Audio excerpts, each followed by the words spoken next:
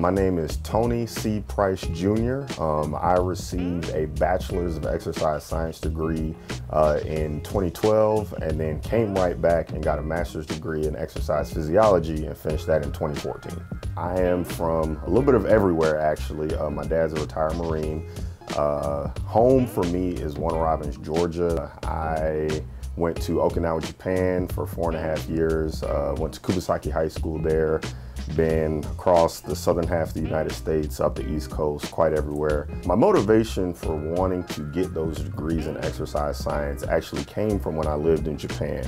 I remember my sophomore year in high school, I actually broke my arm uh, playing football. While I was in track season, I really couldn't stay healthy. I had a lot of soft tissue injuries, uh, hamstring pulls, Achilles tendonitis, things like that. So the combination of those different injuries is what caused me to develop a curiosity for how the human body works. I wanted to learn why I could not stay healthy and why this was such a problem for me to eventually give somebody else what I didn't have when I was in school, which was the knowledge of how to perform best in athletic activity. So in my time here at the College of Education and Human Development, there are three specific professors that I can really pinpoint to that helped make my career the best that it could have been. Uh, one is Dr. Doyle. He was actually my thesis chair when I was in grad school.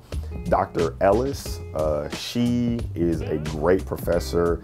She also served on my thesis committee and really helped me with the survey aspect of my thesis committee.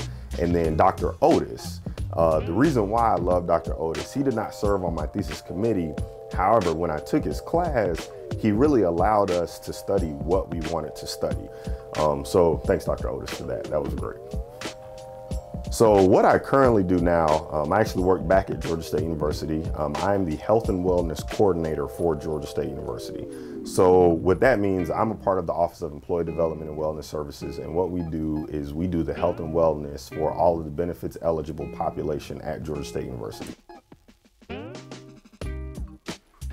So the KH fam is an unofficial cohort as part of the kinesiology program. Um, we helped each other study for classes. We helped each other take notes. We helped each other find internships. Uh, we helped each other get through the program from the time we got in until the time we graduated. And I think one of the most rewarding parts of being a part of the KH fam was seeing each other at graduation, being happy, uh, seeing us walk across that stage and knowing that we survived being a part of this rigorous program. Graduating from the Kinesiology and Health Department of the College of Education and Human Development at Georgia State University has allowed me to pursue one of my greatest passions, helping people achieve the greatest health that they possibly can. Welcome to the KH fam, and I'll see you in Atlanta.